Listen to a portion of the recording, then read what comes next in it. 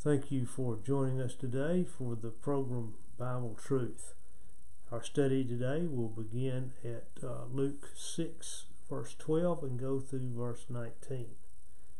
The, today's lesson is number 22 in our Luke series. Uh, the date is uh, June 12th, 2024. Believe on the Lord Jesus Christ, and thou shalt be saved, and thy house. Is Acts sixteen thirty one.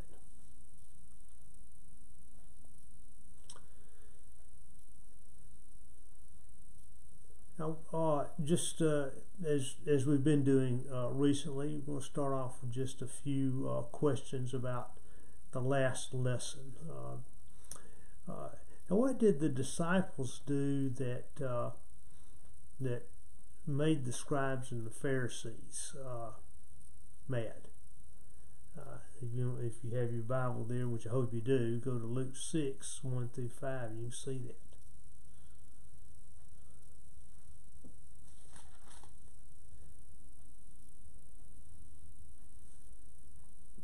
Well, his disciples, Jesus and his disciples were walking through a field.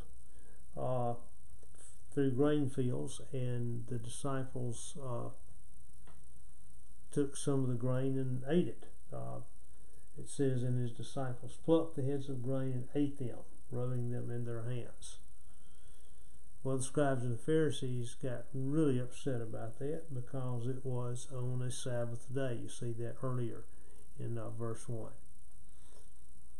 Um, and so the scribes and Pharisees asked, Well, why do you do that? Well, Jesus uh, answered the question. How did he? How did he? How did, what did he say?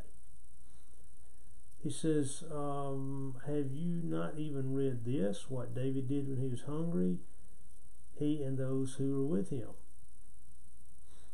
He actually went into the house of God, uh, which was the tabernacle at that time. Uh, that's recorded. It's all recorded in 1 Samuel 21, 1 through 6. If you want to go back and look at it uh, and it was permissible according to the law that the Pharisees and scribes uh, claimed to uh, claimed to follow uh, to the letter. And then David did it. Uh, now the Sabbath is made for man, not man for the Sabbath uh, as it is uh, recorded right there in verse 5. And he said to them, The Son of Man is also Lord of the Sabbath. Now, in Mark, it's worded a little bit differently. He says there, Sabbath is made for man, not man for the Sabbath. Uh, one other thing. Uh, from what Old Testament passage did Jesus claim Son of Man? Did he use that name, Son of Man? Well, it's from from the uh, uh book of prophecy of Daniel, uh, Daniel 7, verse 13. Uh, Daniel saw the uh, Son of Man, one like the Son of Man, coming in the clouds. A vision into the end times. Okay, well, let's go to uh, uh, the next passage that, that we'll, uh, the passage to look at today. Romans, excuse me, not Romans, but Luke 6 11. And I will read uh, 611, uh, or not uh, 611, I'm sorry, we finished with 11, so we're going to go to 12. Uh, Luke 6 12, I'm going to read 12 through uh, 16 to start with. Now it came to pass in those days that he went, Jesus went out to the mountain to pray, and continued all night in prayer to God. And when it was day, he called his disciples to himself, and from them he chose twelve whom he also named apostles. Simon, whom he also named Peter, and Andrew his brother, James and John, Philip and Bartholomew, Matthew and Thomas, James the son of Alphaeus, and Simon called the Zealot, Judas the son of James, and Judas Iscariot, who also became a traitor. The traitor Judas. Notice there's another uh, of 12 apostles, also named Judas. Now it's apparent that Jesus had many disciples because it says uh, uh, uh, says there was a, a crowd. Uh, well, we actually see the word crowd later on, but there are many disciples, and he chose twelve from this pool of disciples to be his apostles. So there's a difference between a disciple and an apostle. A disciple is a follower. Apostle is a sent one, and specifically. Uh, we see the term the 12, the 12 apostles. Uh, so, uh, apostles are disciples, but disciples are not necessarily apostles. Now, we previously seen the calling of Simon and Andrew, James and John as disciples, as followers. Uh, we uh, read that before. That was back in Luke 5. But now here are the 12, and I want to say just a few things about the uh, about the 12. Uh, as far as a comparison of three lists, there are three lists. Uh, actually, there's a fourth one also. We're going to look at three today. Uh, this one in Luke, in Luke 6, 14 through 16. There's also one in Matthew, Matthew 10, 2 through 4, and there's one in Mark, Mark 3, 16 through 19. Now, just a, a little uh, comparison. Uh, and the reason it's so difficult to uh, memorize the names of the apostles, the 12 apostles, is because they are called by different names. Sometimes some of them are. So anyway, let's go. Let's go at it. All right, now uh, all three synoptics use the, the name Simon for Simon Peter. Uh, uh, Simon and Simon Peter, same person. All right. Uh, Luke uh, and Matthew um, refer to Andrew, the uh, brother of Simon Peter. Uh, and, the, and the, order in which they appear is a little bit different too. I, I don't make a whole lot about that, except there are three groups of four to get the 12. And the leader of each of three groups is the same one. Uh, Simon, and then the second group of four begins always begins with Philip. Right? And that group includes Philip and uh, Bartholomew and Matthew and Thomas. Now, Bartholomew is called Nathaniel in John.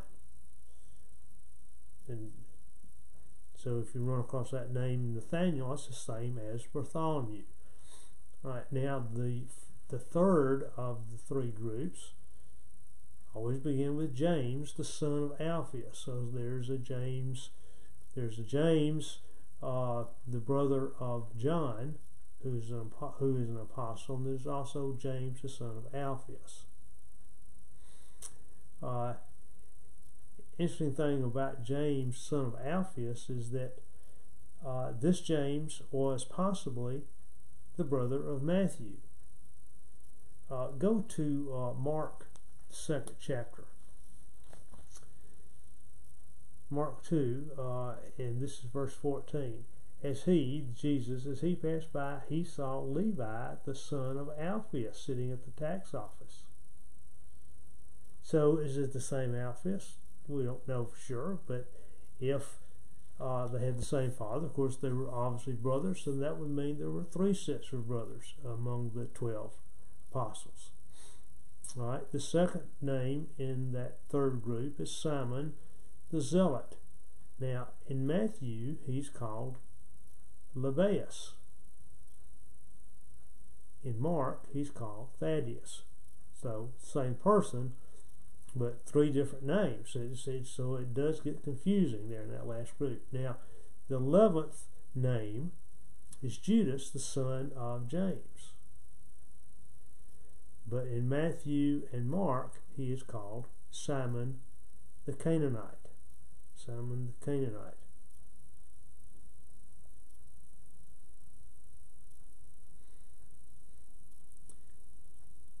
The last person is the last one listed among the twelve is always Judas Iscariot. Uh, now Iscariot, that name Iscariot comes from uh, uh, where he was from, his hometown, which was uh, Kerioth in Judah, or in Judea, and he is the only apostle from outside Galilee.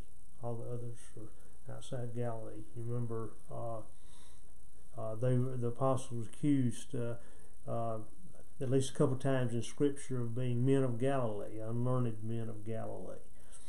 Uh, and uh, when Peter was at the was at the fire warming himself right before the crucifixion of Jesus, someone said that he was his his Galilean accent gave him away. Okay, all right. Uh, so anyway, that's just uh, just a just a little background. Don't uh, hard to remember it all, but it is uh, easy to remember. Simon and Andrew were brothers. James and John were brothers. Uh, possibly uh, Matthew and James, the other James, were brothers. Uh, and then we've got the others also. But we'll look at that. We'll look at that some more later on. All right. Now the calling of uh, Levi or Matthew as as a disciple. We already saw that uh, last time. Jesus called two others to discipleship during his first Judean uh, ministry, uh, discipleship, before he selected his apostles. Go to John, uh, the book of John, go to uh, chapter 1, in John 1 43. Uh, the following day, Jesus wanted to go to Galilee.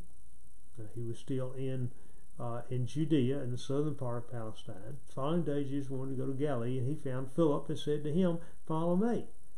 Now, Philip was from Bethsaida, the city of Andrew and Peter, which was in Galilee. Now, Philip found Nathanael and said to him, We have found him of whom Moses uh, in the law and also the prophets wrote, Jesus of Nazareth, the son of Joseph. And Nathanael said to him, Can anything good come out of Nazareth? Philip said to him, Come and see. So Jesus saw Nathanael coming toward him and said of him, Behold, an Israelite, in, indeed, whom is no deceit. Nathanael said to him, How do you know me? But Jesus answered and said to him, Before Philip called you, when you were under the fig tree, I saw you. Nathanael answered and said to him, Rabbi, you are the Son of God. You are the King of Israel. Jesus answered said to him, Because I said to you, I saw you under the fig tree, do you believe? You will see greater things than these. And he said to him, Most assuredly I say to you, uh, hereafter you shall see heaven open and the angels of God ascending and descending upon the Son of Man. Uh, reference to uh, uh, the ladder that uh, Jacob saw uh, extending to heaven and back down to earth, way back in Genesis. All right, and back in uh, Luke now, uh, in uh, Luke 6, verse 12, I notice uh, it says to pray, that he went to pray. Verse 12, Now it came to pass in those days that he went out to the mountain to pray and continued all night in prayer to God. Now there are uh, uh, there are other instances. Uh, one, for example, is in uh, just back in Luke chapter three, uh, Luke three twenty one. Uh, when all the people were baptized, it came to pass that Jesus also was baptized. And while he prayed, the heaven was opened, and that was that's during the time of his when he was baptized. He prayed then, and then he prayed uh, in uh, chapter 6 that we just saw, and then we also look at uh, chapter 4, verse 42. Now, when it was day, he departed and went into a deserted place. And the crowd sought him and came to him and tried to keep him from leaving them. But he said to them, I must preach the kingdom of God into the other cities also because for this purpose I have been sent. So he prayed uh, also at that time. And then uh, one more in 516. Uh, well, 516, that's the one that we just read. Uh, so he himself withdrew into the wilderness and prayed. Uh, or 516, uh, the chapter 4, we just read in, out of chapter 6.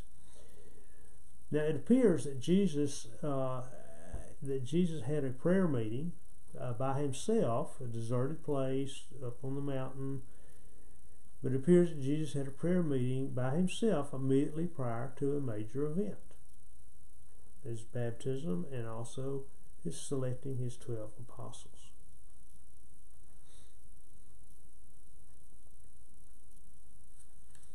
Okay. All right, well, let's go to uh, verse uh, 17. Uh, Luke 6, uh, 17 through 19. And he came down with them and stood on a level place with a crowd of his disciples and a great multitude of people from all Judea and Jerusalem and from the seacoast of Tyre and Sidon, who came to hear him and be healed of their diseases, as well as those who were tormented with unclean spirits, and they were healed. And the whole multitude sought to touch him, for power went out from him and healed them all. All right, it says that he uh, came down. Uh, that refers back to verse 12. Verse 12, now it came to pass in those days that he went out to the mountain. Then 17, and he came down with them and stood on a level place. Now, this is very interesting right here. Uh, so, uh, some scholars refer to this as the uh, Sermon on the Plateau, a plateau, a level place. But now the sermon, and we won't actually get into the sermon itself until next time, but the sermon is very similar to the one that Matthew records in Matthew 5, 6, and 7, which is referred to as the Sermon on the Mount. So, there's a question there. Uh, is it the same sermon? And uh, uh, Matthew Luke said it on the mountain. Luke looks at it on a plateau, which could have been a part of the mountain, a plateau in the mountain could be, or it could be two different sermons with the uh, very similar material. I don't know. But Matthew's is so much longer because he he included uh, a lot about the law because he's writing to his to a Jewish audience, and so they would uh, uh, of course be very partial to the law, and that would relate to them much better. Now it does say uh, in verse 17 here, a crowd of disciples, a crowd, uh, uh, crowd of disciples. So there were there were many. Now in verse 19, uh, the word power is used there, and the whole multitude sought to touch him, for power went out from him and healed them all. Power, all right. The Greek is dunamis, dunamis, uh, from which we get the uh, uh the uh, name dynamite. Now, I'd like for us to look at uh, power in some other in some other places in Scripture just to do a little comparison uh, and also to realize how much power. How much power. All right, now go ahead to Luke 8. And uh, let's start at verse 43. Luke 8 43. And I'm going to read through 46. Now, a woman having a flow of blood for 12 years, who had spent all her livelihood on physicians and could not be healed by any, came from behind and touched the border of his garment. And immediately her flow of blood stopped. And Jesus said, Who touched me? When all denied it, Peter and those with him said, Master, the multitudes throng and press you, and you say, Who touched me? Now, verse 46. But Jesus said, Somebody touched me, for I perceived power going out from me. This power, could feel the power going out from him. So that means it's an ongoing, it's ongoing power, and it was going out from him. All right, now go to uh, Romans, uh, Romans, the first chapter, and uh, we'll look at verse 16. Romans 1.16. Uh, this is Paul the Apostle speaking here. For I am not ashamed of the gospel of Christ, for it is the power of God to salvation for everyone who believes, for the Jew first and also for the Greek. So it's the power of salvation. Tremendous power. Tremendous, tremendous uh, in that it can save anyone who desires to be saved. Uh, Jesus came uh, because God is not willing that any should perish. All right, now, one more. Go back to Luke. This time, uh, look at chapter 9. Chapter 9, uh, verses 1 and 2. Then he called his twelve disciples together and gave them power and authority over all demons and to cure diseases. So it's the same word dunamis, and it is his power to give. It's his power to give.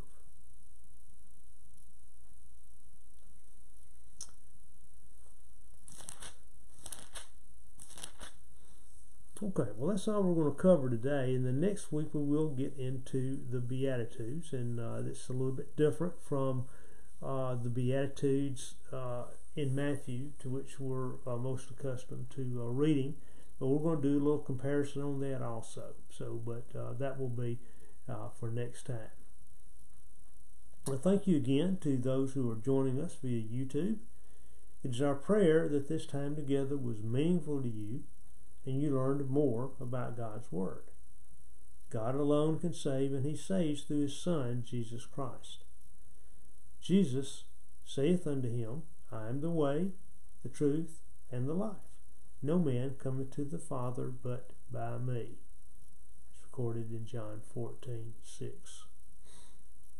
Dear Lord, thank you for this opportunity you've given us to come together and study your word. Uh, Lord, thank you for these words that uh, were written down by the apostle, uh, uh, uh not by the apostle Luke, but by the writer, uh, the writer Luke. Lord, but he wrote as did all the writers of Scripture wrote under the inspiration of the Holy Spirit. we know that every word is true and that you are willing uh, you are not willing that any should perish, but willing that all would come to salvation. Lord, I pray that uh, make that same prayer today, that any who are not saved, Lord, will receive that free gift of salvation before it's too late. And I ask all this in your name. Amen.